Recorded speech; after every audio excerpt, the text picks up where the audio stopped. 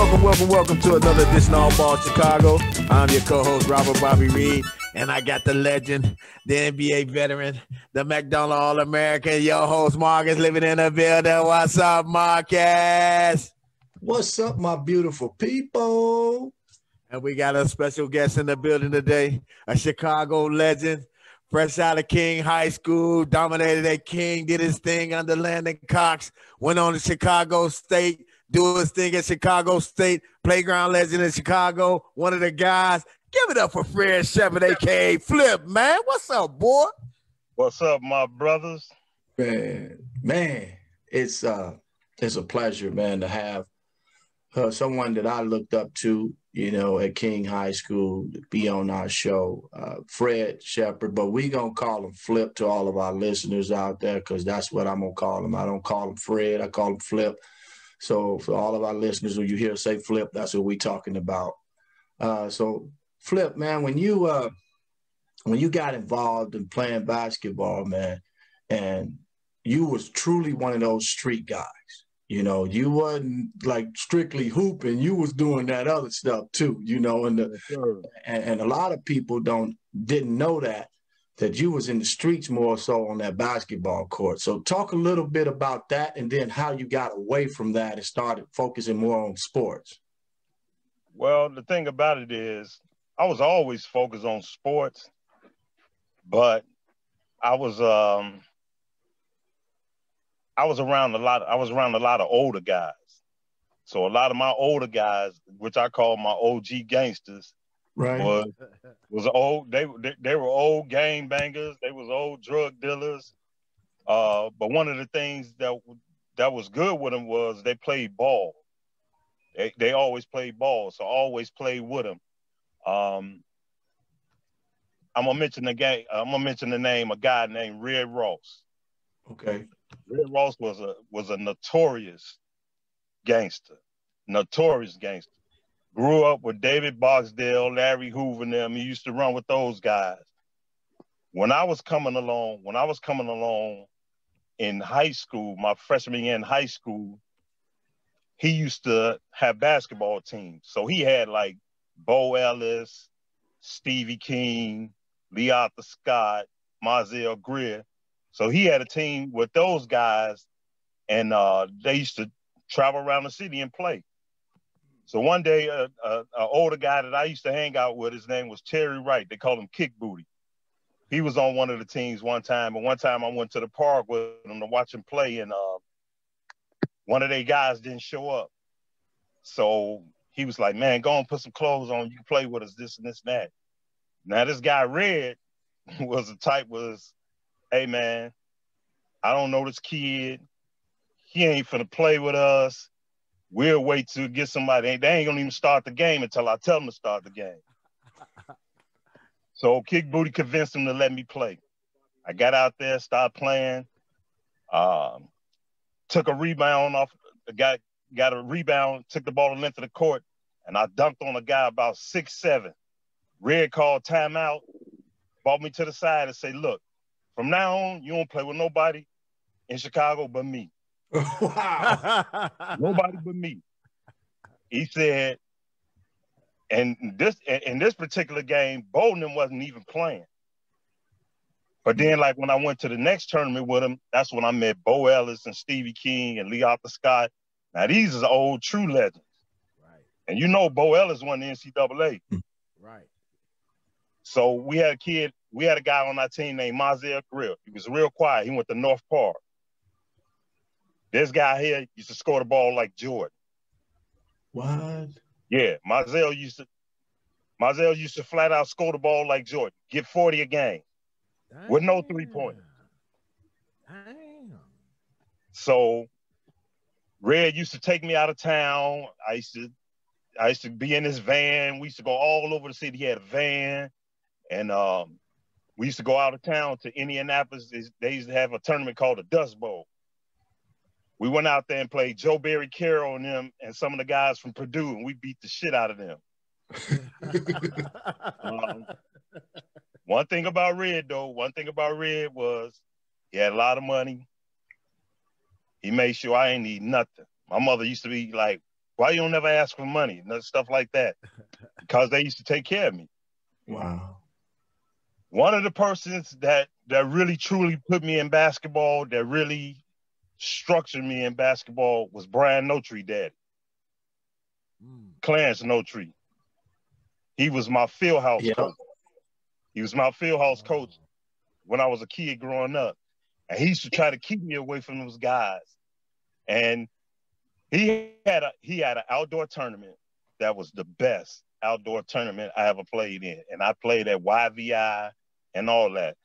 But he had an outdoor tournament where I learned about a lot of the older guys that played, like Sonny Parker that played with Sonny. Sonny had a guy that played with him. His name was Arthur Bright.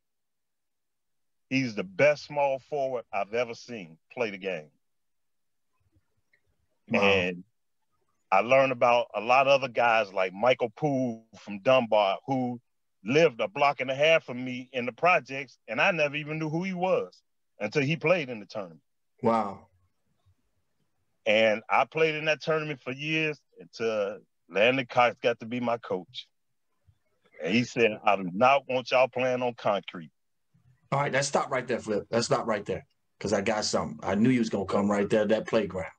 Now, it's it's been told to me that you and Ice Dildy went to five star. Oh that's yeah. Out, that's outside courts, right? Oh my goodness. And yeah, that the rumor that, was Go that ahead. you that you that you dominated, that you dominated guys. Talk about some of those guys that was at that camp and you came out MVP. Okay. Wow. We go to five star. Uh, mind you, I've never I've never been out ta- out of town to play ball like that ever. And um we get there. We get there, just a, a, a group of kids a, a, a group of kids. We're we were in the uh, we were in the mountains in uh, Wilkesboro, Pennsylvania. So they had it where all all Americans slept in the bunks. They they had nice facilities for all all Americans, and we slept in little cabins. wow. So when we first get there, they they draft you. They put you in a long line and they pick one, two, three, four, five, one, two, three, four, five. They tell you get out there and play. So we get out there and play, get out there and play. So I, I played pretty good. So I got drafted. I got drafted number one. As you know, in five star, it's the NBA league, the NCAA, the NIT. Most of the seniors play in the NBA league. So I, I get drafted in the NBA. So I get drafted. I get I get put on a team. So I'm on a team with Willie Glass from St. John's, Corey Gaines from uh, he went to UCLA first, and then he went to Loyola Marymount. Uh-huh. Uh, Coach Billy Donovan, who just left OKC, he was my point guard. Wow. And it was me and Dave Pop, Dave Popson from North Carolina. So we doing all the drills. You know, they you make you got to do all the drills in the morning, and you got to go through all the the stations and everything. And then you play in the evening. So I, I, I used to be in, in, in the cabin. So Tracy Dildy, uh-huh. as you know, Tracy got that mouth. Uh-huh. Tracy used to Tracy used to antagonize people. He he used to have Billy Donovan in tears. Say Tracy, leave him alone, man. Leave him alone. Like, man, that, that that white boy, he can't play. He can't play. Look at him. Look at him. Look at him. So we play our first game. We play our first game. Man, Billy Donovan out there throwing dimes, no look dimes, behind the back, behind the head, shooting jumpers. I came in, I came in that evening. Cause you know, in the evening, they bring you down, they they start telling you who was the offensive player of the, of the day and the defensive player of the day. I told Trace, I said, you can leave that white boy alone, boy, because he could play. so one day, me and Willie Glass, we sitting on we sitting on, on the ground waiting waiting to play. So you got Muggsy Bogues, Reggie Williams, um, uh, Reggie Lewis. Wow. Pearl Washington.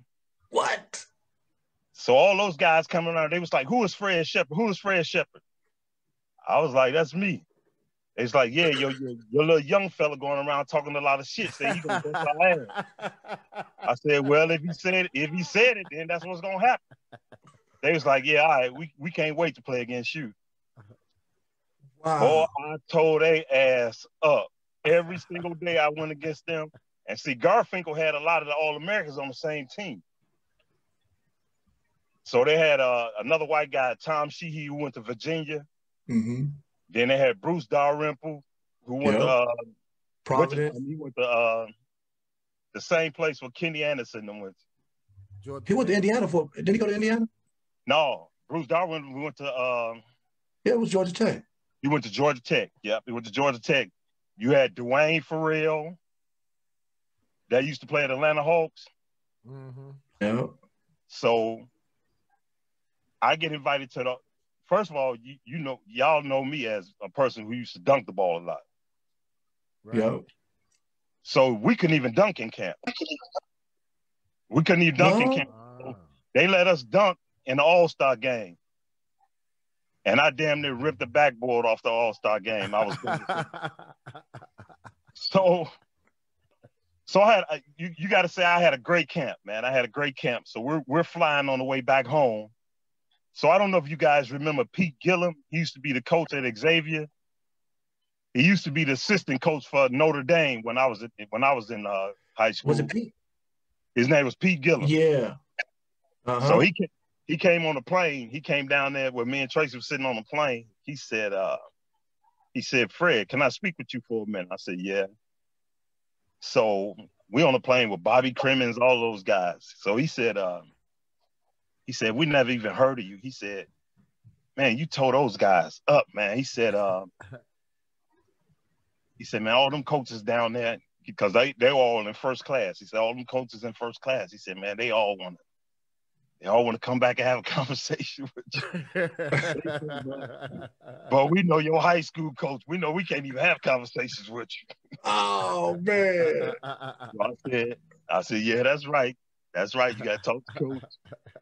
But when I got home, but when I got home, guys, and uh, we were working out, and they had sent coach a letter. They was like, uh, coach stopped practice. He was like, I want everybody to come around. He said, uh, want I want everybody to congratulate Flip because he went to five star.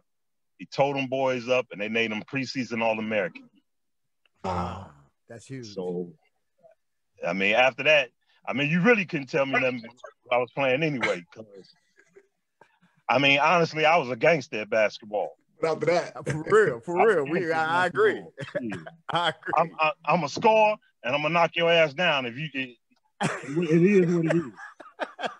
Right, it is what it is. Whatever you want to want, whatever you want to make after that, let's do it. Hey, Flip, you did not take no stuff, Right, man. I do from agree, nobody. bro. And I ain't, and, I ain't take no stuff from nobody messing with none of my guys either. Marcus, Yeah, and that- I and that's what I was- on my team. But that's what I wanted to say too, Flip. And I think you was the one that when I got over to King, you you basically told them El looking, you know, like, hey, take care of him. You know, make sure he good. Because I remember a guy coming up to me saying, "You good over here, man? You ain't got to worry about nothing over here." So I'm like, "Okay, I'm good over here." Then, you know, because I, I didn't know nothing about you know that area, man. That was that was kind of your area, and you know, and some of the other guys that was from around there. And I was like, man, I don't, I don't know what's going on, but I knew that guy came up to me. I don't even know his name. He's like, hey, Marcus Liberty, you good over here, man? I'm like, all right. Yeah, so 'Cause I ain't play no, I ain't play no games with mess with none of my teammates, man. I mean, I mean, we lived in the El Rukn neighborhood, and shit, we go two blocks another way. We in the Disciple neighborhood. You Yeah. But yeah, like I said before, shit, I sat at the round table with all of them. They, it, it was no no contest with me because all of the young guys that was game banging, I knew all they leaders. right. I right. knew Chiefs. Right. I hung around Right. Chief. So I was like, like when Tracy them came over there. Tracy came from over there on the east side. And Tracy was was the worst because Tracy wanted to mess with the game bangers girls. and Oh, Tracy Lord. just and Tracy just chimed in and said all facts too. Right, so I, I- and I was like, they was like, man, this, this Tracy, man. I was like, man, y'all gonna have to give him a pass, dude. That's, Y'all that's gonna little give him bro. pass. They was like, all right, flip, man, all right, man. But Flip, that's you. You was a beast on that football field. I pe- most people I talked to about you, they said you could have probably made it in the NFL. Yeah, I played both. I played both from. I played both sports equally. Wow. I played both sports equally. I man, I I was on my way because I played football at King too.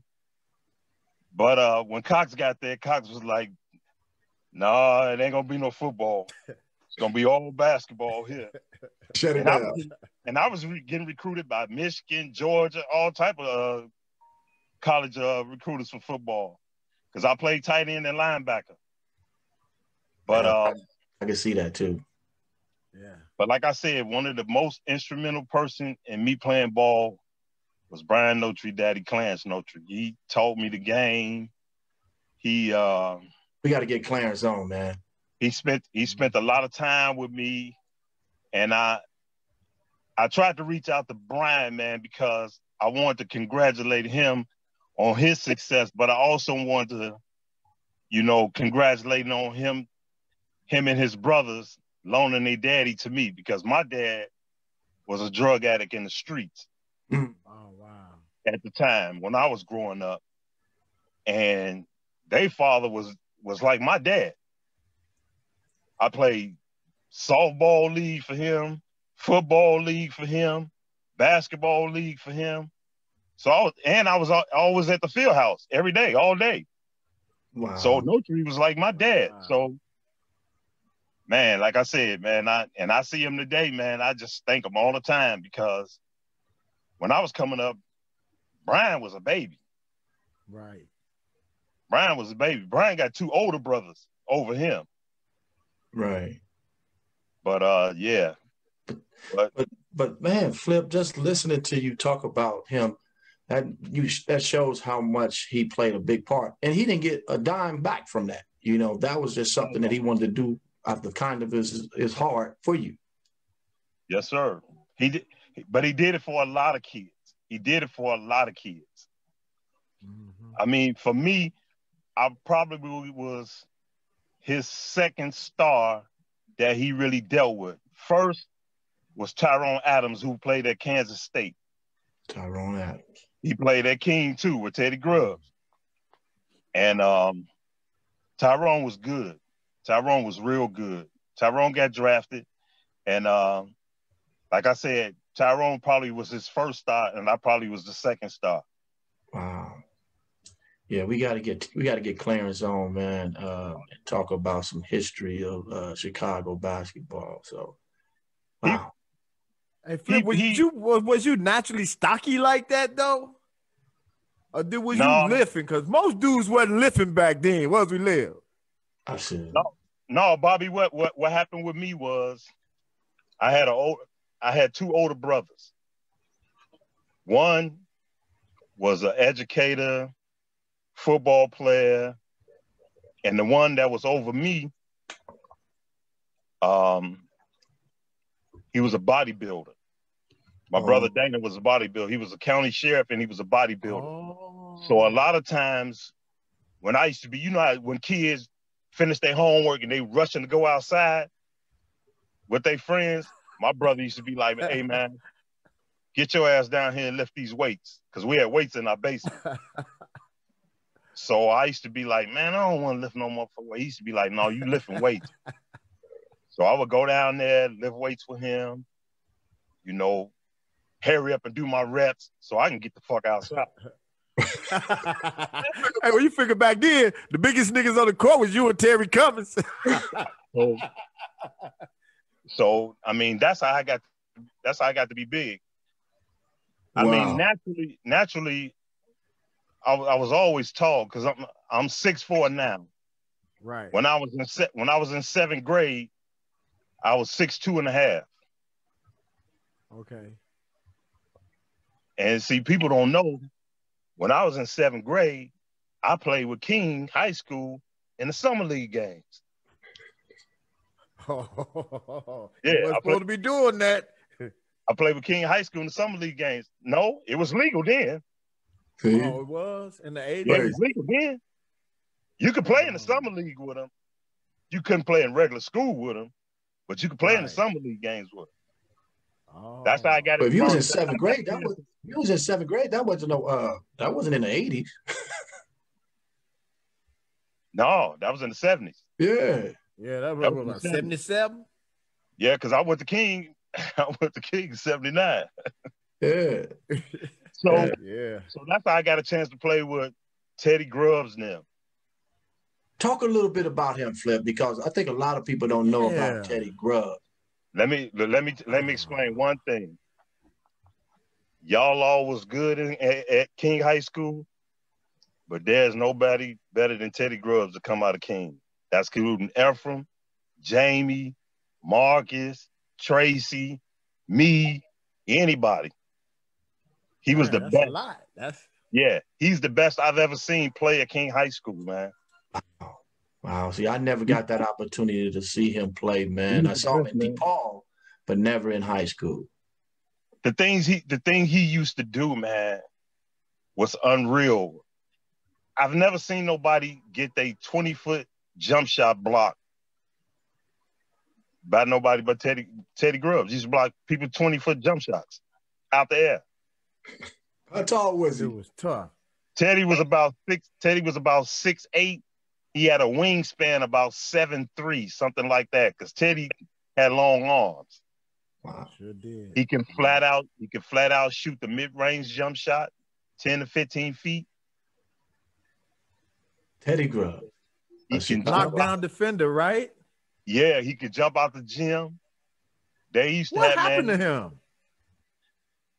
it's a lot of different stories, but one of the main stories that I heard that I can believe is true is some of his teammates end up screwing his girlfriend and they called him over and he went in there and they was doing that to him Wow. Oh, and he went crazy after that. He he just That's never was the same after that. That's scandalous, man. That's scandalous. Yes, it is. Very much so. Very college much so. teammates. Huh? His his DePaul, his That had DePaul teammates. Damn. And and really and truly, really and truly, I could have had something done to him.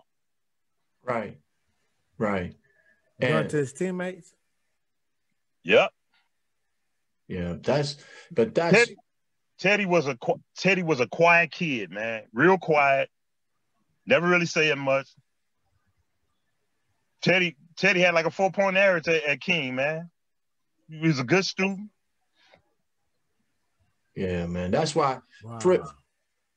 That's wow. Flip, that's why I, I like, you know, us doing this all ball Chicago, man. So we hear stories, you know. of course, I don't even want to talk about, you know, his, you know, off the court issues and the things that, he had mentally, you know, some mental health issues eventually. But his on court ball play, like you just mentioned, that he was probably one of the best basketball players that come out of King High School, you know, that that people enjoy watching. And then he had an opportunity to go play at DePaul and almost could have won a national championship if those things didn't happen to him. They probably would have won a national championship. Yeah, yeah, and, and, you know, and I ain't gonna say no name, but it was a lot of selfishness over there, and um, especially after he shined on national TV. After he shined on national TV, you never even heard of him anymore. Right. How can you go? How can you go to scoring like 28 on national TV on one of the top teams, and one of the top ranked teams in the country, and you don't even play over five minutes no more? Mm, That's unreal. mm. Yeah, that is. That That's is. And mind you, mind you, coming out of high school, you're the number one player in the country. Wow. Oh, he was the number one player in the country. Number one player in the country. And that's how King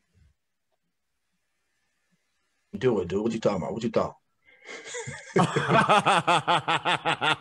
y'all had Efrem Winters and him and Hey Bobby, and, and- and Bobby, and listen to listen to this. What year? What year Teddy come out of King? Seventy nine. Who else come out of seventy nine? And he the number one player in the country. Isiah was Thomas. that match? Isiah, Isiah Thomas. Thomas. Right. Zeke. That wow. says a lot, bro. That says a lot. Liv, did you know he was the number one player in the country? yeah, I heard. I heard that he was the number one player in the country. That's crazy, man. He was. we had a lot of number one players in the country. I know. Y'all, y'all coach was the coach. hey, Like But- you just think about you just think about Efrem. Efrem in the But, McDonald's. but, but flip. Let's talk. We had. You had. We. Mm-hmm. Go ahead. Go ahead. Go ahead. You got you got Efrem. You got Uh-huh. Efrem in the, in the McDonald's All American game in Chicago, and John Wooden wasn't even play him. He started him, let him play two minutes, put him on the bench In his hometown. in his hometown. He put him on the bench, and he and Efrem was a type that okay, if it's like that, then I I, I won't play. He's sitting down, and I could tell I could tell the way he's sitting. And coach tells me in the stands, coach say, "Go down there and talk to him." I say, "What you want me? What you want me to say to him?" Coach like, "Go down there and talk to him," because we all hung out. Me, uh, me, Efrem, and Reggie Woodward hung out together. I go Mhm. down and I say, "E, what's wrong? What's what's going on?" He said, "Man, he don't even want to play me." I said, "Uh." I said, well, he got to start you the next half. You're a starter. Second half, he tore the McDonald's game up, won the MVP Had 24 points or something like that. didn't he? Wow. in the second half. Wow. Destroyed all of them. Now you talking about Johnny Dawkins, all of them playing. Destroyed them. Brad Daugherty, destroyed them. Won the MVP. Wow. Wow. Hey, look, your boy Sean Higgins chimed in, Lib. He said um uh Teddy Grubbs was the number one player 79 over Ralph Sampson, James Worthy, and Sam Bowie Yes, sir. in that same class. That's crazy. sir. That's crazy, man. That's crazy. Because that means what his career would have been like if their career was like that in the league. Dang. Man, he was so he he was so good, man. It, it was unreal, man. Now and now and you got Sean Higgins who chiming in. That he letting you know. Right. Sean and Sean know his Sean know his basketball, man, and he he lo- he, he keeps it 100 too. Yes, sir. Keeps it 100. Um, yeah. But but but flip, you were Dang. you were known, and I remember when I was used to come to the games and watch my brother hoop with y'all, man, at King, and y'all had the, the nicknames on the back of your your, your, your shirt, and you was Doctor, was it Doctor Dunkenstein? Yep, Dr. Dunkenstein. You stole that name, didn't you? I stole it from uh Darrell Griffith. Darrell Griffith. that's a good that's a good one though. I stole it from Darrell Griffith. and, and Hey, I do you remember he caught that lob? Go ahead, Lil. No, uh, no, go ahead, go ahead, go ahead. I'm gonna say, you remember when Dr. Dunkenstein caught that half court lob on NBC, called it backwards and ducked it backwards on the team? Yeah, Y'all remember that? yeah. Do- I Now, like, I've never seen nobody to this day do that. now, Bobby, do you remember this? Do you remember him playing in the summer league at Chicago State? No, I didn't see that. He played he played against us because Ricky Green And you was on the same Ricky Green was on the same team with him at Utah.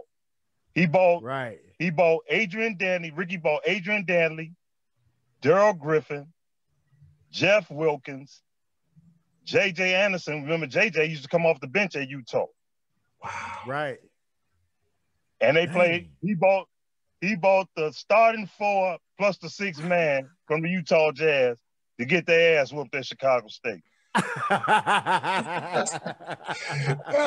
uh, hey, hey, let's talk about some of those those people, like some of those players back then, Flip. Talk about some of those players back in the day that, that was at, you know, IIT, uh, Chicago State, Malcolm X, all those places. Talk about some of those players. Chicago State was the best. Chicago State was the best. And as you know, when that tournament was going on, you never even heard about violence going on. No. No. And, and if and if you came up there to the tournament and you wasn't there and you wasn't there on time to get in the building, You're not getting in. and you You hung out on the grass, you hung out on the grass just to see them guys come up out of there. Yeah. Yeah. yeah. Yeah. I was I was fortunate. I was fortunate when I was coming out of high school because you had to be a, a you had to be a graduated senior on your way to college to play. Mm-hmm. Coach Cox had a team. He had the college players. Mm. He only had one pro. That was Maurice Cheeks No. because Cox and Maurice Cheeks' daddy was tight. Maurice Cheeks' daddy is the one who paid. Maurice Cheeks' daddy is the one who paid for me and Tracy to go to Five Star. Oh, okay. Yeah. Damn. So I got a chance to play a lot. My high school coach back then, Flip, you could walk right up to those guys, man, at Chicago State. Like Reggie Right. Theus, like I told Lib, I said when when it, when Artis Gilmore came on, he the first pro I ever met. I walked right up to him at Chicago State, like, man, that's Artis Gilmore, G. Straight up, Let- man. let, let me let me let me tell you a story about Reggie Theus. Reggie Theus was my idol. I didn't love nobody, no other basketball player but Reggie Theus. He was cold. I get a chance to play him against him at Chicago State. I'm like starstruck. You know, I'm still, I'm still, I'm still that dog nigga now. Right. But I'm starstruck. I'm, I'm like, okay, I'm out here with Reggie. Now he coming down top speed. Now you know Reggie was six seven. Yeah. He coming down top speed. Now Reggie's favorite moves was the juke you right, Uh-huh. spin on you, the same move LeBron used in the lane. yeah. Reggie used to do that all the time. So he frustrated me a And flick couple it. times. He frustrated me a couple times. So I came to the bench. I was like, damn, man, this motherfucker here. So Mo So Mo Cheeks pulled me to the side. And Mo, Mo Cheeks never used to talk. Mo said, look, you have to determine which which side of the court you want him to be on. He, he said, you keep letting him come up the middle, he can go to either side. He That's said, fine. but once you once you put him on one side, then that's the only side he's gonna be able to operate on. I said, okay. I get back out there. He come with the same move. I cut him off, put him on one side. He spin, I take the ball, go dunk it. Boom. You know how the crowd is there. Crowd going crazy. what? Now, now, Bobby, I'm on his ass now because now I know him. Now I know mm-hmm. his moves, and his body wasn't as big as my body. I, I was just as big as he was. He was taller than me, Right. but I was big. So I'm Right. knocking him around. So we get on the timeout. The man who ran the Chicago State tournament, Shelly Clark, came over. He, he came over. He said he came over to Coach Cox and said, "Look, you're gonna have to take Shepard off Reggie because Reggie said he out here to have fun. He ain't out here to play hard." So, Pretty boy Reg. so they basically they was telling me, "You got either he gonna have to take him off of him or he ain't gonna be able to play." Wow. So, so I'm so I'm now now I'm pissed now. Now I'm pissed. I'm like, all right. So they put me on the bench. So Mo Cheeks said, I got him. Man, Mo Cheeks was taking the ball from that man. That's when I first, Marcus. That's when I first learned about pro strides. Right. I seen him Right. take the ball. I seen Maurice Cheeks take the ball from, from Reggie Theus at half court, and it took him three dribbles, and he was under the basket, laying the ball up. Right. That's Wow. that pro stride. But that tournament, man, that tournament, that tournament was so great, man. Then you know had MJ come up there, but that summer there, I hung out with Wes Matthews Senior. Yep. I remember Wes. Wes Wes was so good, man. Wes was so fast and so athletic. he he was unreal. The best player I seen, the best player I seen in the tournament at a guard, far as a mid-range game, was Quintin Dailey. Quintin Dailey. Oh yeah, He Quintin never- Dailey. unguardable. He never shot the ball over 20 feet. He always was, was in the lane, using his body, knew how to get the ball off. And he used to score 30s and 40s mid-range. Man. Well, Frederick Hughes too now. Wasn't our Frederick Hughes in there getting like 60? Nah, don't don't believe that. Don't believe that. Alfred was I seen him Alfred get Hughes- it 30, 30, 40 piece a couple times in there, didn't I? yeah, he he he got a couple 30s and 40s because he he shot the ball every time he got it. you ain't lying. You ain't lying. But I'm gonna tell you, his brother was better than him, Chris Hughes. Hmm. Right. Yeah, he was tough, man. He was versatile. He was way more versatile. He could dribble the ball. Yep. Chris Hughes, Chris Hughes kind of reminds you of James Harden. That's how he scored the ball, just like James Harden scored the Yeah. ball. Really? Wow. Yeah. He get to the, Chris used to get to the basket. He had long arms. One thing about Chris and Alfrederick, and I do get Alfrederick credit about this. He never shot the ball off balance. He always was squared up when he shot the ball. Right. Chris was the Yeah. same way. Chris would come down, Marcus, Chris would come down and be spinning, throwing the ball through his legs around his back. But when he come up to shoot, he's perfect form. Elbow in, straight. Hey, Flip, man, I used to just I get there early just to watch him in the crip line. The crip line was a dunk contest up in that mug, man. Man, Yeah. dudes was doing all JJ Anderson was nasty in the crip line, man. You know, you want me? I'm, I'm, I'm gonna tell you. I'm, I'm, I'm gonna tell you this story. I leave. I go to next year. Coach don't coach, so I'm like, I know I ain't gonna be able to get on the team. I mean, even though my uncle was my uncle was the coach of Playboy. Prior. Yeah. Oh, That's my uncle, Red Pryor. Rick Yeah. Pryor is my cousin. Yeah. So, oh, dang. so I said, now I can go to my uncle team, but he got a gang of people. He got, he got Terry, he got Craig Hodges, Yeah. he got, he got a gang of people. So, hold on, Bo Ellis get the team. So I'm like, Bo, my old man, I'm, I'm playing with Bo. Now, Bo put me and Tim Bankston at the guards. Ooh. wow. Right now, you got Too six four. strong, uh, Right, you got six four, two twenty, and you got six three, two thirty five. Wow.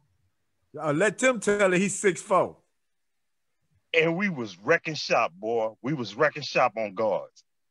Wow. Any guard came through there, Tim was like, "Post him up, flip, post his ass up." Now you know I was a down low player anyway. Right, right. I'm posting up centers, so posting up a guard wasn't nothing. Wasn't nothing. Yeah, so we, we ran that summer, man. We killed people, man. And then I went to my uncle team the next year after that and played. I played for them a couple years. I played with them through Chicago State and IIT. When Darren, when Darren was Darren Brittman was talking about Michael Jordan at IIT and he had the guard Mike, Yeah. Tell us about that. Alfred Hughes, Alfred Hughes was on that team and he had hit a couple baskets. And Kenny Battle was on that team. Uh huh. Michael asked me, he said, Freddie, because he called me Freddie. He said, Freddie, ain't that my man that was talking shit up in Chicago State? I said, Yeah. He went to Terry. He, he, he was talking about he was talking about Kenny Battle. He went to Terry on a timeout. He went to Terry Cummings and Craig Hodges. This was his exact words. He said, I know this is y'all tournament. This is y'all town, but I gotta teach that young fella a lesson. He Wow. got 60, he got 65. Damn. After he after he killed Kenny for, for a quarter, they start switching people around and they put Darren on him. Darren took the ball f- from him a couple times. He said, That's all right. Put me in the post. Put him in the post. It was all over. And Darren didn't say that. He said that on the show too. He, Yeah. put, he put him in the post. It was all over. Darren couldn't get no help nowhere. And That's what he Terry and Terry and Craig gave him the ball every time down. That's good basketball. Feed That's the what I was pig, damn it. Feed the pig. That's hey, they said don't forget about Lloyd Batts either with the step back jump shot. Oh Push man, it. Lloyd Batts. Lloyd Batts was, but see, Lloyd Batts is in, and Clarence Notary era. Right. He old schooler. Was that with Lloyd Bobby Batts- Wilson? Yeah, Bobby Wilson was Bobby Wilson was cold, man. Bobby Fundamentally Wilson- sound. Bobby Wilson was cold, man. Yeah, he was cold, man. Bobby Wilson was cold. He was one of the Ricky Green boys. He played on Ricky team. Oh, yeah. He played on Ricky, Ricky team. Green was tough though, man. How long did Ricky's play in the league? Maybe about 15, 16 years. solid, solid point guard, man. Solid. You got to remember. just he- uh you got to remember. He he he schooled John Stockton. Right. oh yeah, man. I mean, I I just looking at his game, he could have very well did that job, but uh, you know, he was older by that time, right? All right. When, so uh, let's go. okay. Let's go to uh online man to get some of these comments. Sean Higgins just asked. He want to ask you, Flip, how good was Billy the Kid? Oh man, Billy the Kid. You talking about a guy that's gonna tell you, I'm gonna come down, I'm gonna spin left, I'm gonna spin right, I'm gonna I'm gonna let the jumper go, and I'm gonna run down court before the ball hit the net. Can flat out score the ball on anybody. Was Wow. was the first was the first big guard you ever want to see at six four. Wow. Wow. So you you telling me, you telling us that he will tell you what he's gonna do and do Exactly. move.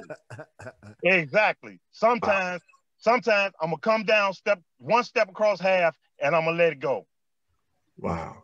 I know you're not lying either, because my bro, my boy, big brother from that era, he's saying the same thing. He like Well, Billy no. the Kid, man. But but like- Ja- but but Jabari dad said it. Sonny said it. You know, Sonny He- said it. Yeah. Hold on. And they was and they was scared of him, Did he talk a lot? And and will slap you too. Know-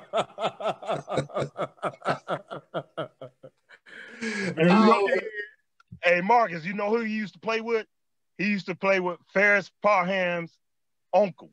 Now the Parhams, there was so many of them, man. Boy, the Parham brothers. But he- But he he played with the oldest one. The oldest one was the tallest one. yeah. Billy went to Dunbar. Billy went to Dunbar. Wow. I heard Hey, Billy. Flip, I somebody heard, asked. Go I ahead. heard Liz. Billy. I heard Billy brother was cold too. Yeah, Phil. They used to have it. They used to have a song. Don't mess with Phil. Hey, and Phil come up and put that. Phil come up and put that ball in the basket too, boy. Yeah, that's what they told me, man. So I think Phil. I think Phil went to. did he go to Dunbar too? I think Phil went to Dunbar, but I think I'm thinking that he went to Malcolm X with Tony Oh, okay. because I think him and Tony played in Malcolm X together. Wow, man. That's another Liz, name. we still got somebody in the comments. They wanted to ask y'all about Tim Hardaway and Zeke when they went at the IT. Do y'all remember that? I don't remember that I one. don't. I don't remember. I don't remember more so than than uh, Z going with going into Tracy. Okay, back in the That day. was a okay. classic. Yeah, that was a classic. I would have loved But, uh, to have seen that. I missed that. Well, yeah, man. Wow. It's So a lot of ball players. there's a lot of great hoopers, man, from Chicago, Flip, that me and Bobby think don't get they just do. And that's why we got Darren on. That's why we got yourself on.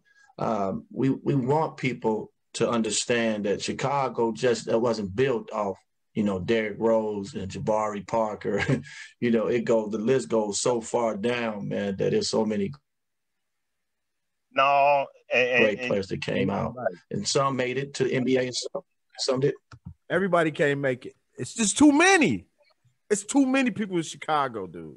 Yeah. And it's and, and it's a whole lot of players, man. It's a whole lot of players, man, that play here, man. That was great. That that was great, man.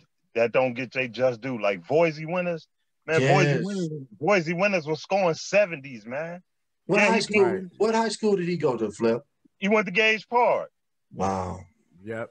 They say He was in the he was in the blue he was in the blue division, but you got to understand when we played blue division was tough. It was still tough. It was tough in the blue division. Even though we was in the red, you had blue division teams that was man massacring people. Yeah, because those blue teams got an opportunity if they win their conference, they move up to the red. Exactly, which Gage Park did. Mm-hmm. Gage Park went up. Boise, I think Boise graduated with Efrem them. They moved up. They moved up to the red with us. Him getting seventies and stuff like that. JJ So don't who get was- his. JJ don't that? even get his just due. Yeah, man. I, I remember hearing stories about JJ in high school at Metro. They like the house that JJ built, you know, and I'm like, what? He Now, built listen- this? Now listen to this. Do you remember when you was in high school? They say you was you was on your way to breaking JJ record Uh-huh. because JJ averaged forty four a game. Yeah, he sure did. Yeah, I remember talking to him about that. And JJ That one was 44 a game. And one stretch, Lib was averaging 40 some a game. They was like, Yes, Lib on his way to break. JJ record. Damn! Lib, I didn't know you was averaging 44 a damn game. Man, I used to put them numbers up, boy. they don't wanna- they don't- They don't want to talk And about that. JJ, man, JJ offense, man, was unreal, man. Yeah. We gotta he- get he just JJ. went to the he We went to the wrong JJ. school, you think? Oh, he was Brad- not ready, right? Yeah, he went to Bradley. They won the NIT. Right, they won the NIT. And they used to practice, they used to practice against King when they were in college. Wow. For You had you had you had Donald Reese was the center at Bradley. You had JJ Anderson was the forward, small forward. Well, he played power forward. Uh-huh. You had Barney Mines was the small forward. And then you had Willie Scott was the point guard. Now Wow. Willie Scott was the king. Wow. King putting them out, boy. Willie Scott was Willie Scott played with Teddy Grubbs at, at King. He was Teddy Grubbs point guard. And they I heard he was lightning quick. Yeah. And that's Isaiah Thomas' first cousin. Wow. Wow. Now they used, now you take you take them four and you throw in Tracy brother, Kevin Dildy. They used to come practice against us. Kevin Dildy was so good, man, at small forward and big and could flat out shoot the ball. And his main thing, he could bank the ball from anywhere on the court. Dang. See, that's why And I- Chicago was crazy. And I see why Tracy talk a lot of smack because Kevin talked a lot of smack. But so, but, but but but but flip. I think that's sometimes like what gets people going. I thought I think that's what got Tracy going. Like when he talked trash, it kind of motivated him. Like man, some people can't t- talk trash and back it up. You know, he can talk trash and he was backing it up. I'm gonna give you I'm gonna give you another guy that was good, man. Nobody never even knew about his talent. You just could flat out put the ball in the basket that I used to play in the projects with all the time. Your big brother, Edgar. Man, man. Edgar could flat out put that ball in the basket. When I was when I was a senior in high school, my girlfriend lived in the projects with y'all. Her name was Nina Moore. Wow. And I used to be up there in the house, and Steve O, your cousin, them used to be like, flip up there. Yeah, go get him, let him come down here and play. And I used to come down there and play with your brother and them. wow. Because Daryl Yeah. was Daryl Daryl was was on the team with me. Yeah. And Daryl, man, Daryl has man, I just hated that Daryl and Cox didn't get along because Daryl, man, Daryl has so many unreal tricks, man. Yeah. And it the thing about it is his tricks wasn't even it wasn't even hard for him. It was easy for him. Wow. He did it effortlessly, man, because that was his skill level. Yeah. But Wow. whenever Cox whenever Cox said something to him that he didn't I like, I tell people this all the time, Flip, man. I tell I tell people this all the time, Flip, that I got a little bit of both of them in me, you know, and that's what that's that package, Yeah. you know, yeah, you do. that, that Yeah, man. Them boys were bad, man. I ain't gonna even front. My two brothers were bad as fuck on that court, man. And yeah, That's how they, you got to where you got to live. Doubt. you attributed that to them. No doubt. man, when Marcus when Marcus came to King, man, and I seen him play, I say he played like the both of them. Mm-hmm. Lib was able to steal. Good job, Lib. Man, I said he, I say he played like, but one thing about Edgar, Edgar played hard all the time, concrete, wood, wherever. He played. Lil, Lil Big Brother played hard every time he played. Is this the one that you say was like six two yeah, he go. He appreciate. It. Yep. and yep. nobody could Yeah. nobody could do nothing with him. Nobody. And I Yeah. seen them bring I seen them bring people from around and around all the town. You know they used to always, used to always play that in the project, Yep. and they couldn't do nothing with him, man. Yeah. I used to be like, Edgar, man, damn, man. "Man, wouldn't, play." wouldn't go to wouldn't go to school, man. Wouldn't go to school. He just he just like Lavertus' brother. Yep. Yep. Lavertus, no, Lavertus' had two brothers. Shaky was one, and he had Milton. Milton, always Milton, was yeah, yeah. Gangbanger. Milton was Milton was cold on the court. I remember Milton. Yeah. He just wanted the gang bang. He didn't want to do school. He just wanted the gang bang. But he one of those guys, Bobby, like you come to the hood and you be talking shit. He'd be like, man, let me get out and teach this nigga a lesson. He just had it like that. He just get it on call. He had it like that, man. He ha- he he he had it like that, man. And you gotta understand, you you you gotta understand, man. And people don't understand about the pipeline of King. People always thought that coach was the instrumental on bringing people into the school. A lot of the players was befriending other people and was bringing them into the school. A lot of them. Coach Cox And never was doing y'all own recruiting. Hold on, Coach Cox never heard about Lavertus Robinson. Never knew who he was. Never know where he came from. Hmm. You know how he found out about Lavertus? Through me. Ah. He found out about Lavertus through me because of my defensive back coach. Used to be the field house coach at LeClaire Courts. Coach Uh-huh. Hill. Ah. Coach Hill used to have, used to teach Shaky and Milton how to play. Oh wow. Lavertus used to, Lavertus used to be a snotty nosed kid on the porch that never played. Yeah, Sean Higgins just asked about that too. He just asked you uh, how uh, whatever happened to Lavertus Robinson. You around? Lavertus He around. he don't just-. Right. He had the, he had the bunnies over there on, over there. Yeah. But like I said, the Vertus, he's steady on the porch. He getting taller and taller. And Coach Hill like, man, y'all want the Vertus? I'm like, yeah, Coach. Yeah, we'll take Lavertus.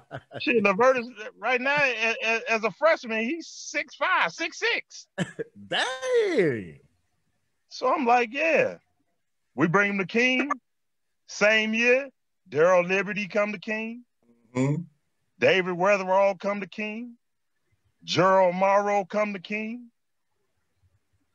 Now, mind you, I'm the only senior on the squad. Hmm Dang. I'm the only senior on the squad. Tracy a sophomore, Romeo a junior, and I'm playing with three freshmen. Wow. Wow. And yeah, we and yeah, we lost to Marshall in the final four. And the only reason why we lost to Marshall in the final four is because I played with three freshmen and Marshall had five seniors. Joe Stiffling, Fred Marshall. Marshall. Yeah. I remember Not. Kevin Upshaw, but his little brother Upshaw. Uh-huh. And they all played five years together. Now, if I'd have had Lavertus in it, no, it, not not even if I had Lavertus. If Cox had to play, if Cox had to play Durrell. See, one thing about see one thing, Marcus, they don't know about your brother.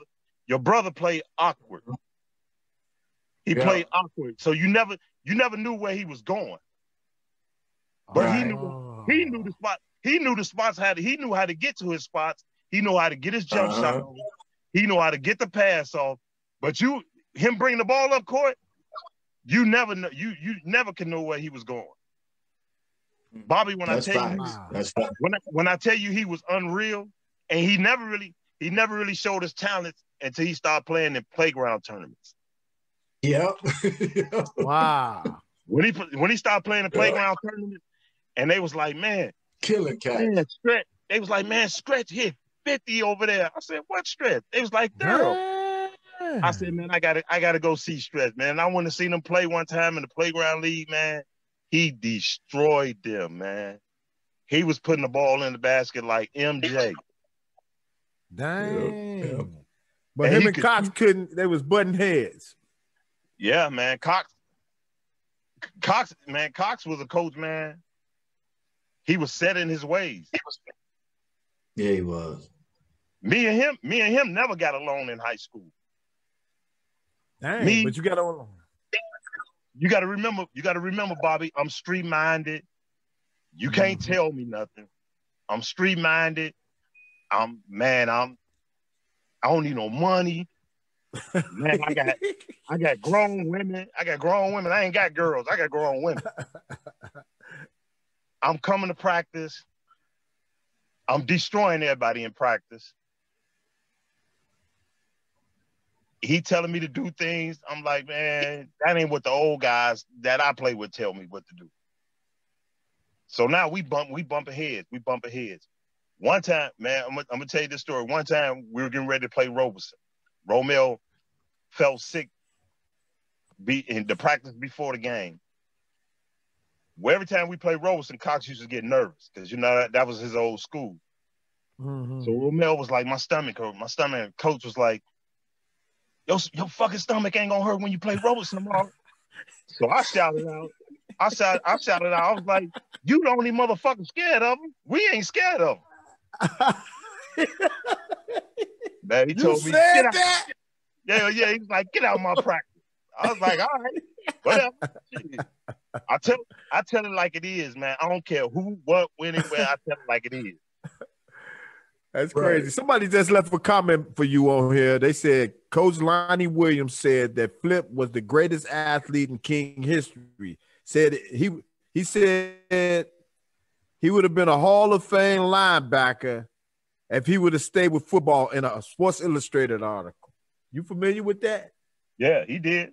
He he made he got that article when I was overseas. He made that article. That was my wow. football coach. Wow. wow. That was my football. A Hall coach. of Fame linebacker and tight end. You say flip, forget that. I stick with basketball. It's a little bit more uh, less contact that that boy. No, Cox wouldn't let me play football. Oh yeah, that's right. He stabbed you out of there. He took you up out of there. Man, this is this was this is another good one, man. It's another good one. I like this one, man. Flip. Keep going, man. Keep talking, man, because uh, one, this one is some I, good information. That, like, some of the stuff I don't. One thing I can say about Coach Cox, man, he settled me down. He made me he made me more mindful about school. He made me more mindful about school. Most of all, he made me more mindful about family, sticking together, staying together. Cause man, I had different friends, man. I wasn't I wasn't with that. You got to be with the ball players all the time. And man, one time, man, we we we in the summer league, man. We playing four, five games a day. You know how it is, Marcus. I'm like, man, I'm not going today. Right. I'm not going today. I'm at this little girl house. I'm laid up, man. But you know, next thing I hear, bum, bum, bum, bum. I'm like, I know that motherfucker home. hey, man, the ball boy come up. Hey man, coach come outside. I come outside. He like, get your ass in the van. You know we got a game. You gonna make us forfeit the game? I was like, man, I I wasn't coming, man. He set me down. He said, look, man. He set me down. He said, look, man, I understand what you're doing. It ain't the right way. He said, but you the leader of this team, man. You got all these young boys look up to you, and you got to take care of them. Mm. Man, that hurt my heart, man. That hurt my heart. For real. And I was like, Good. he right. I was like, he right. He's right. Mm-hmm. I never missed another game. I've always took care of them guys. I took care of them guys under my wing. Them guys could move around freely in school. You guys could do whatever they want, man. And nothing never happened to them. Right. Nothing never happened to them. That's good. Cox did that. And you know what? You know what else though, Flip? I think that Coach Cox don't get enough credit for that. I'm gonna say a good 70 to 85 percent of the guys that played for him got D1 scholarships, you know, and and a lot of times people don't understand that because I remember an era where certain kids just didn't have the grades. They couldn't go play, you know, D1 basketball. They had to go the JUCO route. But he made sure he stayed on top of us to make sure we had the right curriculum to get into college. And and I we owe a lot to him, man, for, for making sure that we was on a straight and narrow. And I was one of them, Lib. When Cox first came to King, man, I had all F's one market period. All F's. wow. What, what wasn't you doing? Not coming to school. Nigga, I was coming to school. I was coming to school, picking up the homies, keeping it moving. Man, that man, man, that man set me down. He was like, "You, you won't never play." He was like, "You'll never play." That man went to all my teachers, man, all my teachers, and said, "Look, I ain't asking y'all to give him nothing, but make his ass work." Mm. And they did, and and one of them, she was a cool lady. But I, at the time, I was mad because I called her asshole because I had just moved out here in the hundreds, and she made me come to tutoring before school started. So now I gotta miss, I gotta miss the hookup. You know, coaches to bring us to school. Now I got to get on the bus and the right. train. I got to get on the bus and train to get down there for tutoring before they even get to school. Wow. All the way on King Drive from the hundreds. Yep, all the way down to Drexel.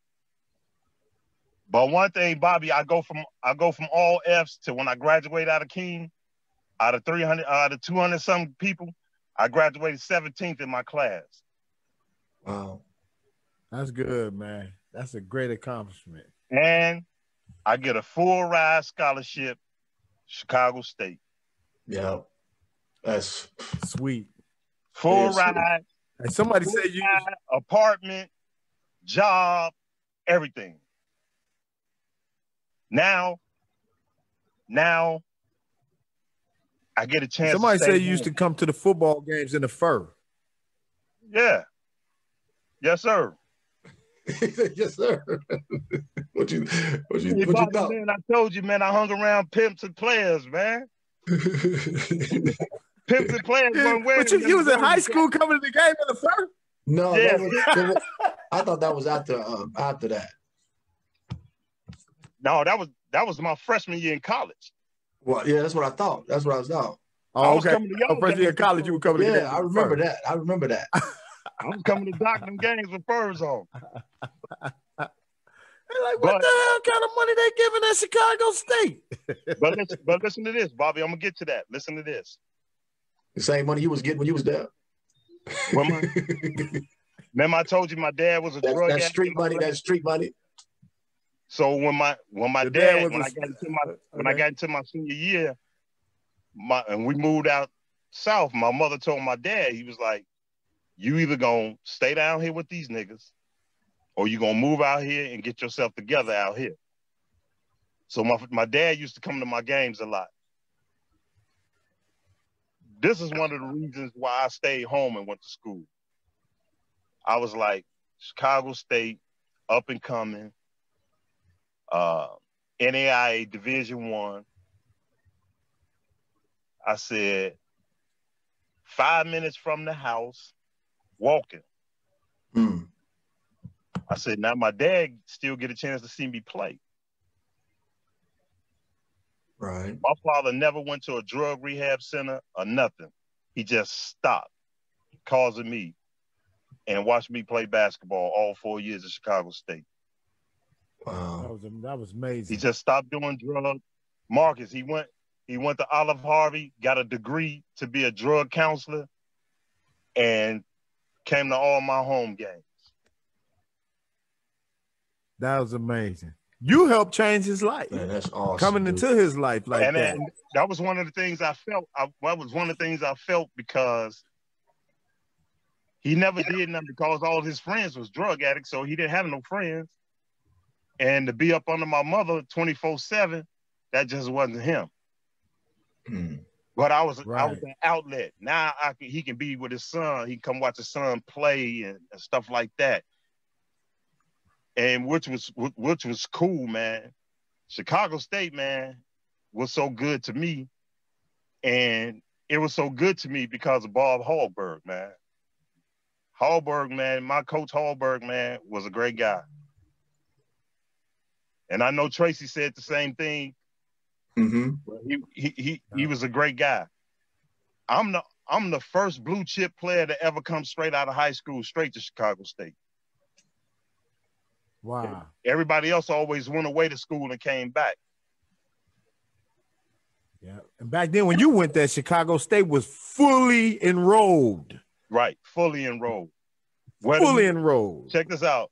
Where the profits of the where's where's the, the money that comes into the university? The men's basketball team. The men's basketball team go play Michigan. Michigan give Chicago State so much amount of money. Hmm when I was when I was when I was in Chicago State, we played Illinois, hmm we played Wichita State. Like I say, we played Michigan, Right. we played What they, Texas. what they usually get them to come to those schools? Y'all know? Yeah, something in my era, it- it was like fifty thousand. Oh well shit. We know now it's totally different. Yes, because the reason why I knew is because Hallberg did everything. Hallberg was the AD, the men's basketball coach. Mm. Hallberg sets our allowance for when all when we go on the road. Wow. Wow, that's crazy. Yeah, That's yeah, that- yeah, we need those, more uh, guys like those- that. You know, those programs back then, like Chicago State, they they had to go play those games so they can support the you know the school, Right. bring them money in, you know, and um, sometimes they'll they'll dress you up with the shoes. Like they might have a Nike contract and say, you know what, we're gonna dress you out next year for you know with the shoes and gear and all that. It's it's a lot of deals to be done, man. It's, this college basketball is crazy, dude. One thing, but one thing about us, we ain't had no shoe deal. we got we got one pair of shoes for the whole season. That's crazy, man. Just hearing that. That's one crazy. pair, no, we got two pair. We had one pair to practice in, one pair to play in. I had more shoes in high school than I did in college Yeah. because we had a we Yeah. had a shoe deal in high school. Right, right. But like I said, man, I went to, I moved Chicago State to the NCAA Division One, my second year. My first year at Division One, we were 16 and 11. My third year in Division One was 22 and six. Man, y'all got down. Y'all was in the whack all along. No, we was in independent. No, we was in Independent. independent. They should have we stayed in independent. independent. We was in the independent with Notre Dame, Marquette, DePaul, and we had the best record in the independent. Wow. Wow. We thought Hey, we somebody, was gonna get, we thought we Hey, was gonna get a Jane. bid.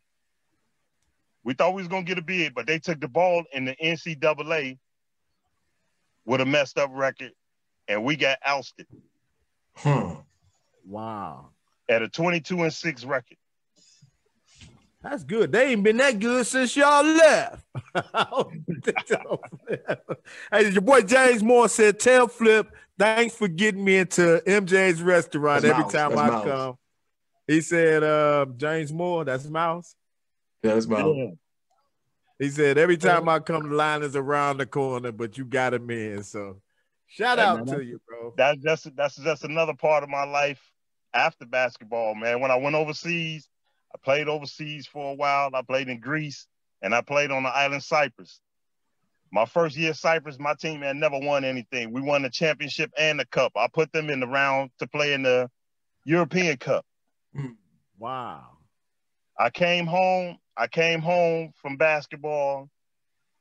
I got with I got with my, my first wife, and I decided I was like, I'm not gonna play ball no more. And I called Michael Jordan and said, Man, I need a job.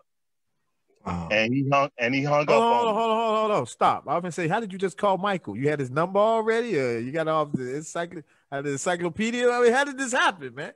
No, Bobby, you was a friend of mine when he first came to Chicago.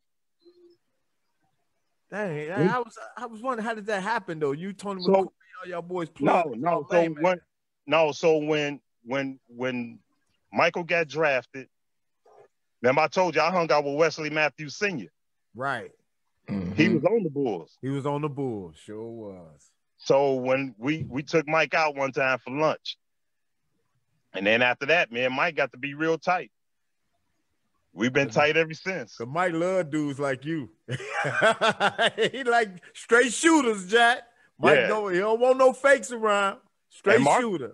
Shit, Marcus will tell you, we've been friends since Yeah. '84. Yeah. That's, that's And uh, like I said, Bobby, I came home. I called him. I said I want a job, and he hung up on me. I got in my car. I lived in Sauk Village. I got in my car. I drove from Sauk Village all the way to Northbrook because he lived in Northbrook at the time then. And the maid let me in. I walked in, walked downstairs in the basement. He said, "Oh, you need a job for real. You didn't drove all the way out here." I said, "Yeah." I said, "Yeah." I wasn't bullshitting with you. and he put me he put me at Michael Jordan's restaurant, man, and I started as a host. And all the managers there had all went to school for food. Mm. I ended up being a manager there for four and a half years, never went to school for it, learned in-house in that restaurant alone. wow. I ran a I ran a $15 million business every day. Mm. With, with no knowledge of it. Just because of who you knew, huh? No, I learned I learned in-house, Bobby. Yeah. Right. every station. I worked every station in the restaurant to be a manager. Busboy, cocktail server, server, line cook, all of it.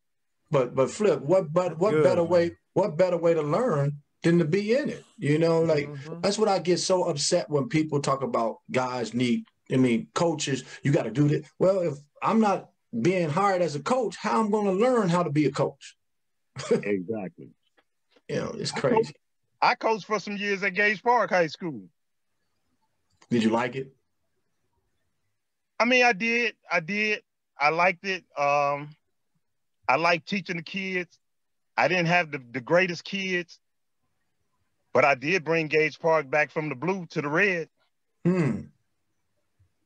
And we had a showdown with Morgan Park when they had Wayne Blackshear. Okay. And my son Mm. toe into his ass. So you had you had a son that was playing for you. Yeah, my son, my one of my older sons. He went to uh he went to Gage Park all four years. Cause when me when me and his mama divorced, I took my son because sons need to be with their fathers. Mm-hmm. Mm-hmm. mm-hmm. So I got him. Uh, I used to, I mean, he had already knew how to play. I used to take him to Foster Park to play with MJ and them, Oakley and them, us. Uh, my son wasn't real tall, but he was real strong. But Okay. he played, he played real well, played real well. Yeah. But I had a bunch of, I had a bunch of little scrappy little guys that wasn't real talented.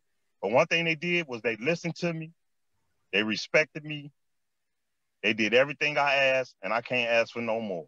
They put, they laid it on the line. Man, that's what's up, man. And uh, and and, and you got a taste of that and, and and help some kids. You probably help a lot of kids too, man. And I know Oh, you still you still over there at Gage Park too, right? Yeah, I've been there 24 years. You know, so so you probably see it. You you you didn't seen it all. You know what people are hearing about on you know from from afar about Chicago, the violence and and and and no respect in you know your elderly, you know, and and, and ripping and running the streets. You didn't seen it I took I took Oh, Gage man. Park from I took Gage Park from a gang infested school to we ain't had a gang member in school in the last five years. That's what's up. That's what's up, man. I put them all out. I've been the dean there for the last 12 years. Now, Flip, I want to ask you a question, right? So you just tell you just said like you changed Gage Park. Is it a committee that you know all you guys can get together, the people over the over these schools to get together to you so you can talk and share your information with the next school so you y'all all can help, you know, each school be better? One one thing, one thing for me, Marcus, as you know, and, and you know kids, kids don't like bullshit. They don't like you to BS them around. See, a lot of people, a lot of people try to sugarcoat things. Sometimes you gotta get, sometimes you gotta give the worst kid the the raw, the raw explanation for him to really realize and see. You you really have to. And the thing about me, by me being in the streets for a while, so I learned a lot of things. But like I told you, I'm straightforward. You got to be straightforward. And, and you got to let him know in, in, in, in a certain way that he know. See, when you try to BS and, uh, you could have been doing this and you could have been doing that. And no, man, you're to have to stop doing what you doing, dude. Because this was going to happen to you. This is what's going to happen to you. Your boy's telling you one thing, but I'm to tell you for, for real. See, I had kids who try to challenge me and, and stuff like that. And I had a couple gang bangers. Man, I'm gonna whoop your ass when you get off work and this and this and that. I'll be all right. I said, you know what? I'm finna look up your transcript and find out where you live. You ain't got to fight me on school grounds. I'm coming around your house. Coming over there. I'm coming over there. Hey, one time I went problem. one, one time, do you think the time, problem, Hey Bobby, one time I went one time I went in Motown and they was like, I went right up on the corner, was 15 of them on the corner. I was like, here I am, dude. What you gonna do now? They was like, man, why you got this dude coming over here? And I said, yeah, you see my boys and them down there on the corner? Yeah, they waiting to roll down here too. You, he don't even know how connected you are. right, He don't even know to roll down you, street dude. Man, hey, hey, Bobby, check it out. They start whooping him. Man, you don't have nobody coming over in our neighborhood, man. Man, bringing no drama over in our neighborhood, man. I had one kid, man, came to me and apologized to me. He said, man, he said, he said, Mr. Shepard, man, I'm gonna tell you, man. I went around the hood, man. Told Big G them. I was like, man, this this security guard, man, can't man, I, I want this security guard messed up, man. He always bothers me, this and this and that. They was like, who? What's his name? Said they call him Flip. It was like, Flip, tall, bald head. It was like, man, you better not never say nothing to him, dude. He came back, he's like, man, I want to apologize, man. Big G told me, man, I better not never say nothing out of pocket to you. wow. That's respect too, man. That's respect. But it's but it's hard, Marcus, for, for what you said to spread things like that because nobody want to touch that. Nobody want to touch that. For me, man, if it's gonna save a kid life, you want to motherfucker fire me because I cussed the kid out and try to put him on the straight and narrow, then I'll take that firing. I'll take it. Mm-hmm. I'll find something else to, to feed my family with. Yeah, I'll but we need more that. people like you though, Flip. I'll take that. We need we need we need more people like yourself, man, because I'm and I'm just gonna keep it real too. Like we need to save our that's that's our young generation. So if they die off and, and, and be nothing, then we're gonna miss a gap of something that we could be touching, you know, because they're gonna have kids, maybe, you know, if they stay on the straight and narrow to keep, you know, to keep the production going. Because man, we we we as a people, man, we don't understand how important you know life is you know we don't understand the importance of education you know and i'm not just talking about school education the stuff that you're talking about street knowledge it's street knowledge too that you got to have you know and a lot of times people just don't understand But you know what we run into, man? And the street knowledge they want to pull out the guns and shoot that's not the street knowledge But you know what we run into, man, and Bobby, I know you can contest to this. What we run into is you have a, a you have a generation of family. You have a generation of family who's raised by women, who boys are raised by women. You got the you got the mama and the auntie. Mama got six kids. Auntie got seven kids. Mama and auntie out there in the streets on drugs, and grandmama got everybody. and grandmama already at 70. Yeah. So she can't do nothing with none of them. Mm-hmm. And then when you she get to the school, it's all female teachers. And, and, and not only that, but like I said, grandmama can't do nothing with every everybody because grandmama didn't deal with with the mama and the auntie shit for so long, and they didn't wore her down. Now she's taking care of their kids. Yeah, yeah. And she, and now they didn't bought the kids to her, and the kids are 16, 17, 14, 18. What's she gonna do with them? They've been taking care of themselves because their mama gone all the time. Now when they lose the house, everybody mm-hmm. got to come live with but, grandma. But where's the where's the where's the father? Man, you know most fathers gone. Most fathers, you most no, fathers. but I'm saying I we tell, need. I tell young. I tell we young need to girls, have this. We, I, I tell young girls, man. I tell young girls that that they used to be in school with problems and crying over the guy and this and this and that. Uh, Mr. Shepard, I'm crying because I'm pregnant and he don't like me no more. He like my friend. And I tell him all the time, baby, when you have a baby, that's your baby. That's not his baby. That's your baby. Cause he gonna leave whenever he yeah. feel like. I said, I'm telling you this. I said, I got a small, I said, I got a young daughter. I, I got a small daughter. I got a daughter nine. I can't wait to give her this knowledge. I can't wait to give her this knowledge. Good thing I got a wife that's on the same page as me who can tell her. But young girl, that's your baby. When you have that baby, he ain't gonna be around. No, nope. he ain't gonna be around, and you're gonna be stuck with the baby. But that's. Can I? I want to ask y'all two a question uh, before we get off because I know, shoot, we Shep, we could do we could talk to you all day. All I gotta do is go over to my refrigerator and give me a beer out of there and light up a cigar. We can keep going. but I was I look I was looking on um looking at the news yesterday. De'Aaron Fox just got engaged to get married. He's 22 years old. He's in the NBA, and uh, he just signed a new contract and all that. What are you two guys? Because both y'all played at a very high level. Y'all know a lot of people. What do you guys think, man, about these young guys getting married that young in the NBA at 22 years old? I mean, for me, it's kind of tight, man. It's kind of tight because I've been around the NBA circuit. I've been on them. I've been on them on, on them trips. You know, I used to bodyguard a lot of NBA players. Mm-hmm. Man, it, it's tough. It's tough. Be be be be vivid. I mean, the vivid part about of it is once they gone, they gone. They out there. It's very it's very few. It's very few that you can that you can see that that ain't the lifestyle that they that ain't the lifestyle that they they, they play in the league, but that ain't the lifestyle that they travel.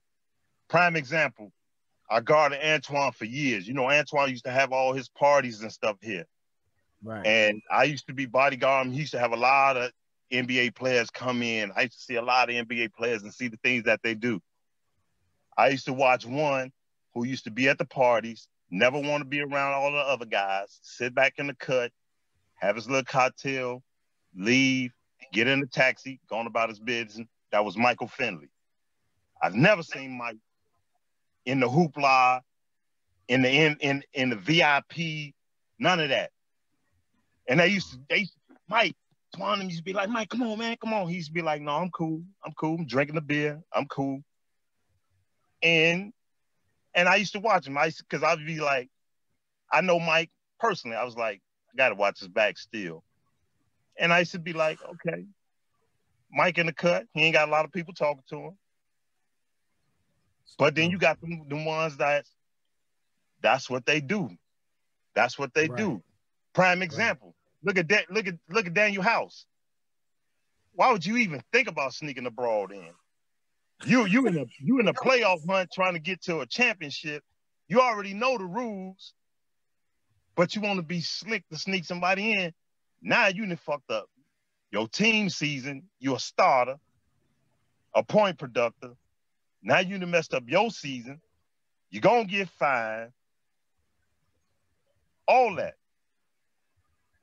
But like you said, that's that's the mentality of man. And, and man, I wish De'Aaron Fox, you know, the best, but a lot of them 20, don't at 22, at 22, what you Yeah, a lot think, of them don't do Lib? that, Bob. Well, A lot of them don't do that. Well, I'm just I'm thinking, like listening to what you said, you know, he's been in the league how many years? Three or Well, four. since 2027, 2015. You've been in about like four, So- four, five years. So so so let's think about this. Four years he's been in the league. He's probably done did all his ripping and running. You know, so now he's probably like, you know, I, I done did it. Been there and done that. Now I want to settle down and have me a young lady and, start a family. You know, that's okay. You know, but if Mhm. you haven't did that and now you want to all of a sudden start ripping and running, get married, and then start ripping and running and doing what you're doing, then that's not fair to the woman, you know, and the woman should know that. They should ask questions. I mean, when you when you marry somebody that's got you know that celebrity status or an athlete or a musician, whoever it may be, they're gonna be on the road. You gotta understand that, you know, that they're gonna be gone a lot. So either you're gonna trust him or you know you you, you can't be with you know it's just it's just that's just the the nature of the beast you know as far as that go but i i think the young man is probably you know got all of his you know playing around out of the way and now he want to settle down and have a family That's a And good that's- perspective on it. that's you can be 22 years old and And still be ready to be to be be mature settled. enough to know right from wrong like this is what i want to do this one, yeah And that's So, true. Yeah, that's it. uh, yeah i saw your Yeah. post saw that Yeah, because uh, yeah, them too. girls, them girls. Yeah, because I, I told him a 22 year old Bobby Reed would not have been ready with 14, 15, 20 million dollars in the bank. but that's you you know that's you it's something, Gotta from the asshole of the year award. Nice Hey, guy Bobby, though. But Bobby, Bobby, I'm gonna tell you this, man. Like Marcus say, man, once you done been there and done that, right it ain't nothing, man. Cause I can give you a prime example, man. When I first got out of my mama house, man, I was like, now I'm out, man. I could stay out any motherfucking time of day I want to. right. hey, hey, hey, I let the sun catch me, man, about two days in a row. And the third day I was like, nigga, you out to the next day, but ain't nothing happening. Ain't nothing happening. I said, you waited all I said, I waited all this long to come out here and ain't nothing really happening exactly between Right. between 11 and between 11 and 2 all the happenings is going on Right. when you get Yeah. this when you start getting to 4 5 in the morning i'm like man ain't shit Ain't out nothing here. but criminals. it ain't nothing out here man i'm out here coming out of i'm out here coming out of club five in the morning bunch of drunks hey you only see hey you only see about five or six cars driving down the street Yep, you're right. Yeah. I was like, man, please, man. Even when I went to Chicago State and Chicago State gave me my own apartment, man, I was like, now I'm up in here, man. Shit. Shit, I could be at the crib. At least my mama gonna come say, you all right? You need something to eat? You... Now I'm in the motherfucking, I'm in the we crib. go we go we definitely go we definitely gonna call this segment man the lounge All right, segment man. man because we lounge we lounge Well, that's what I said. Hey, Liz, we, I was talking talking to Lib earlier about that. I said, Lib, I think we just gonna probably chill today. Let me, let, me, let, me, let, me, let me let me say this, man. This is the last thing, man. I'm very proud of you guys, man. I'm very proud of what y'all doing. Uh, it's been enlightening to hear a lot of different people's stories. Uh, a lot of them that I can relate to. A lot of them I've been around. A lot of the guys you had around, I've been around. Man, I, I'm just definitely proud, man, and definitely live, man. You know, you always been my little brother. right that's right Appreciate that flip, man. Appreciate that. Me and Lib Man, stumbled appre- upon this. appreciate it we didn't know how it was gonna work, man. Me and Lib was arguing every damn day, man. I mean, we was finna come to blows over this. G. No, I'm just kidding. no, it's been easy working with Lib, man, because Lib is always positive. Anytime, it's always easy to get more bees with honey. So, yeah, man, that's the only thing you get. That, that's the way you get. Hey, you get that from his dad. His dad was laid back. Yep, yep. Pops, man, I learned so much from my pops, man, and that's what why it's so important for a male figure to be in a child's life, man. It is important. Yes, it is. Yeah. And uh, my but uncle in the gym was like that for me. What you said for uh, what um, Notri's dad was for you. You know, you always got to have somebody around, man. Jimmy, your uncle? Yeah, in the gym. Yeah, Jimmy Smith. That's my uncle, man. Uh, you didn't see man, that. You didn't see that. He was like that, man. You didn't see that episode yeah, with man. Jimmy on, man. We had him on. That was one That's of the early man, ones, man. Man. Anytime Jimmy see me come in any gym, man, he'd be like in the gym from King High School, Chicago State. Man, Jimmy yeah. is my man. Yeah, yeah. man. Yeah, all right, all right, guys, man. I gotta get man, out. It's been a good one, man. It's been a good one, brother. Appreciate Shout you. Out man. to Flip. Yes, Fred sir. Shepard in the building, baby. King High School, Chicago State legend. And Good chopping it up, big bro. Yeah. Love you, man. Love, love you too, brothers. Later. Peace. All right, peace. Go, man. Marcus Liberty, you say this is the lounge segment and you ain't lying because I am yeah. lounging, bro. lounge segment, man. We, we we wanted to get Flip on, you know, Friday. We usually don't do anything on Fridays, uh, but I wanted to get Flip on, and um, and it was a good one, man. He shared he shared a lot of information um, talked about some of the upbringings and some of the stuff that he did, man. But yeah, I did hear that he was that, you know, he was definitely that street dude